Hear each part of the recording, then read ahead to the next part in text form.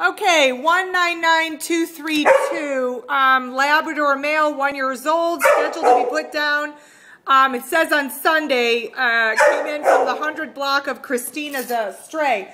Now, they will not put him down on Sunday. They will wait till Monday morning. They do not euthanize on Sundays, um, but they count it as a day.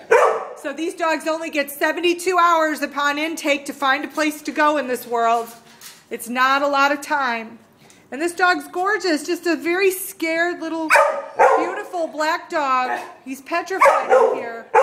He's got a noisy neighbor, and it looks like he just, you know, he doesn't want any part of this.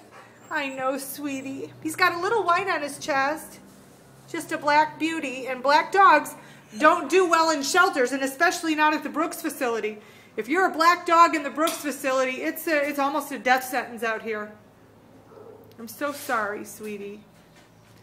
So let the world know this dog's here by showing everybody you know his video. It will really help him increase his chances of being adopted or found by his owner if he has one.